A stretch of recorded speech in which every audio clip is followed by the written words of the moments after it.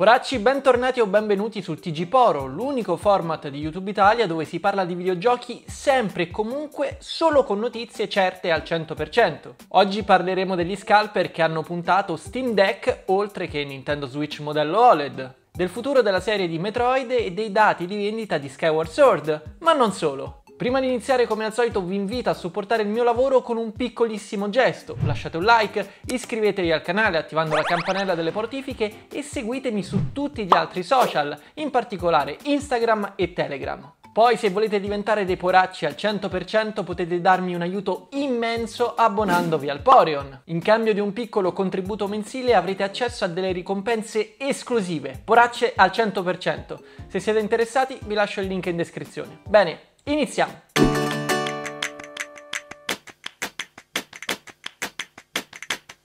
Partiamo con qualche notizia al volo. Uno dei titoli più attesi da parte di Square Enix, Neo The World Ends With You, arriverà il 27 luglio, ma c'è chi ha già messo le mani sulla sua copia completa. Com'è stato possibile? Stavolta non c'entrano hacker o pirati, no. Ad aver reso disponibile Nio con più di una settimana di anticipo dalla data di uscita ufficiale è stata la stessa Square Enix. A quanto pare alcuni utenti che hanno preordinato una copia fisica del gioco dallo Square Enix Store hanno ricevuto un codice di download che avrebbe dovuto contenere qualche bonus in game. Il publisher però, con un errore clamoroso, ha distribuito i codici per scaricare il gioco completo. Il risultato è che ora il gioco è nelle mani di molti giocatori e presto internet inizierà a riempirsi di spoiler. State molto attenti se non volete rovinarvi la sorpresa di giocare in Nioh per la prima volta. Qualche giorno fa abbiamo parlato dei presunti margini di profitto che Nintendo ricaverebbe dalla vendita di ogni singola unità di Switch modello OLED.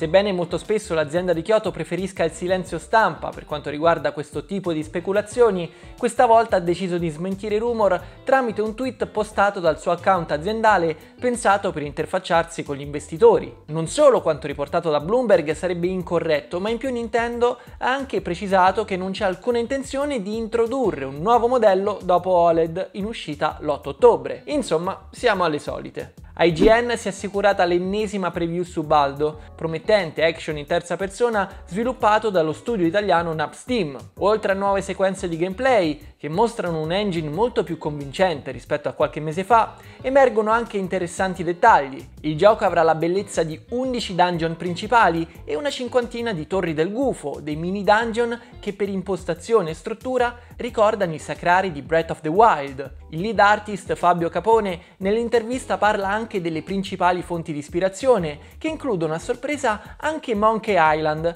e della longevità complessiva dell'avventura che dovrebbe durare all'incirca 50 ore. Non poco. Poracci, voi cosa ne pensate di questo baldo? E apriamo il lunedì tornando a parlare dei nostri cari amici scalper, i bagarini, che nell'ultimo anno e mezzo abbiamo imparato tutti quanti a conoscere molto bene. Infatti anche Steam Deck, il PC portatile di Valve, nonostante tutte le precauzioni del caso, è stato vittima delle attenzioni dei rivenditori furbetti. Valve ha provato in tutti i modi a contenere l'ondata di scalper che si sarebbe gettata a capofitto sulle prenotazioni di Steam Deck. L'azienda infatti ha comunicato l'ora e il giorno in cui si sarebbero aperte le prenotazioni, limitando non solo l'acquisto di un'unità ad account, ma anche solo agli utenti attivi prima di giugno 2021. Inoltre non si è trattato di una prenotazione diretta della console, ma solo di un deposito di 4 euro e garantisce la possibilità di essere messi in fila una volta che le console saranno in produzione e diventeranno effettivamente acquistabili. Alcuni quindi si sono ritrovati la propria prenotazione confermata per dicembre 2021,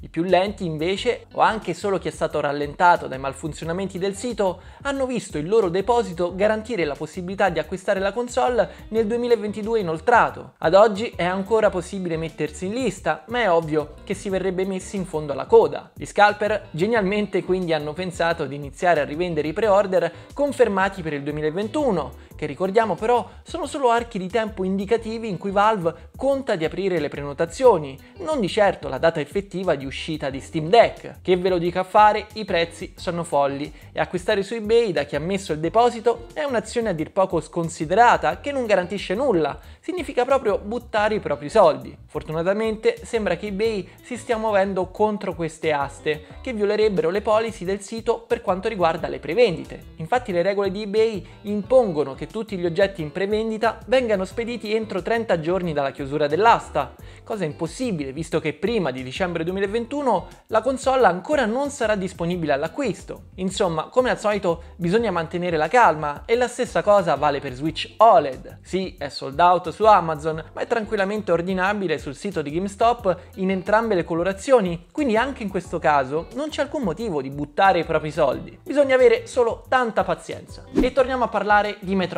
perché il 2021 è senza ombra di dubbio l'anno della rinascita del brand e oggi abbiamo aggiornamenti su un doppio fronte. Da una parte c'è il buon Jeff Grubb che ci aggiorna in via non ufficiale sullo stato della Trilogy Collection, dall'altro Yoshio Sakamoto che rassicura i fan sul futuro della serie. Per quanto riguarda la Trilogy Collection, Grab ha nuovamente confermato che si tratta di una raccolta pronta ormai da anni, che non aspetta altro di essere pubblicata, ma Nintendo ancora non ha deciso la finestra di uscita, principalmente per due fattori. La pandemia ha rallentato di parecchio lo sviluppo dei titoli e Nintendo si è trovata molto in difficoltà per quanto riguarda la quality assurance, ovvero la garanzia di qualità, quella serie di test che si fanno a produzione ultimata per garantire che il prodotto finale rispetti gli elevati standard qualitativi a cui sempre punta la grande N.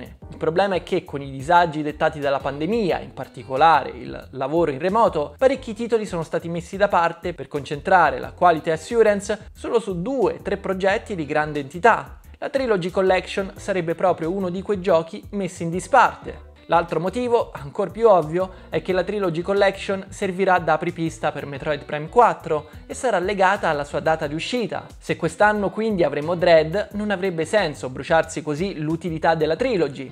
Insomma, la collection, anche se è pronta, non sarà annunciata finché i lavori su Metroid Prime 4 non saranno completati. Anche in questo caso è solo questione di pazienza. Yoshio Sakamoto, volto storico della serie Metroid, nonché producer di Dread, sulle pagine di Famitsu ha parlato del futuro della serie. Dread sarà il capitolo conclusivo di Metroid? Sì, ma solo di questo arco narrativo. Per Sakamoto Dread rappresenterà la fine della storyline che ha visto il suo inizio nel 1986 con Metroid su NES e che ha esplorato il rapporto che si è venuto a creare tra i Metroid e Samus Aran. La fine però non significherà l'abbandono della serie, ma anzi Sakamoto ha specificato come non avrebbe senso abbandonare il brand proprio ora e ha invitato i fan ad attendere con entusiasmo i futuri sviluppi della serie. Sembra quasi un sogno sentire queste parole, ma sono realtà. Il 2021 è veramente l'anno di Metroid, con buona pace di Zelda e del suo 35 anniversario. Se siete a totale digiuno della serie, vi consiglio inoltre di leggervi i report che stanno uscendo sul sito ufficiale americano. Oltre a mostrare nuove sequenze di Dread e a spiegarne il gameplay,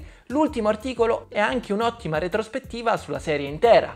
E per chiudere Poracci torniamo a discutere dei dati di vendita che per questa settimana e per l'intero mese di giugno riservano parecchie sorprese, sia in Europa che negli Stati Uniti. La scorsa settimana in UK c'è stato il trionfo di Skyward Sword, che ha debuttato nella classifica dei software più venduti al primo posto. Un successo per nulla scontato se si considerano soprattutto le legittime perplessità che avevano accompagnato l'annuncio di questa remaster. Il prezzo pieno per un porting da Wii sembra non aver impressionato più di tanto il grande pubblico, che ha premiato la riedizione di Nintendo, che ha superato colossi come la New Entry, Formula 1 2021, FIFA 21 e il sempreverde Mario Kart 8, che continua a vendere ad anni dalla sua pubblicazione. Ottimi risultati anche per Mario Golf e Ratchet Clank, che occupano gli ultimi due posti della classifica. Se però attraversiamo l'oceano e andiamo a vedere i dati di vendita di giugno 2021 negli Stati Uniti d'America, anche qui ci sono interessanti novità. Dal lato console, Xbox Series X è stato l'hardware che ha generato più introito.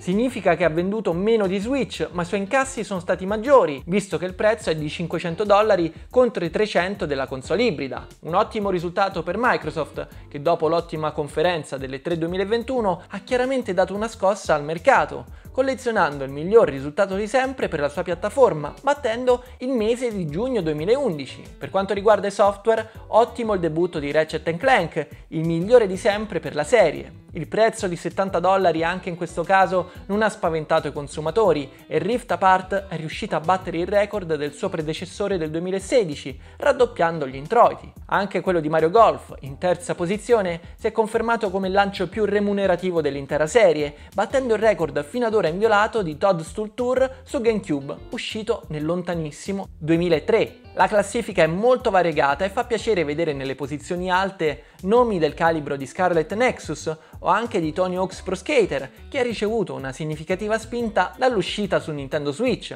Il 2021 si conferma un anno molto particolare, sia in termini di uscite che di ricezione da parte del pubblico. Voi vi sareste aspettati risultati del genere? E questo poracci era tutto per oggi. Vi ringrazio per essere arrivati fino in fondo e come al solito vi aspetto nei commenti per discutere delle notizie del giorno. Non mi resta che darvi appuntamento a domani per un nuovo video. Io sono il Poro Deck, Michele Dredd, ciao! Ehi ehi ehi, fermo! Se questo tipo di video ti piace, prendi in considerazione l'idea di supportarmi sul Poreon, il Patreon dei poracci. Con un piccolo contributo mensile mi puoi aiutare enormemente a portare avanti i contenuti qua sul canale e in cambio ricevi anche delle ricompense di tutto rispetto come retroscena, anteprime e anche live esclusive dove andremo a caccia di retro game. Ti lascio il link in descrizione e ricordati che Poracci si diventa.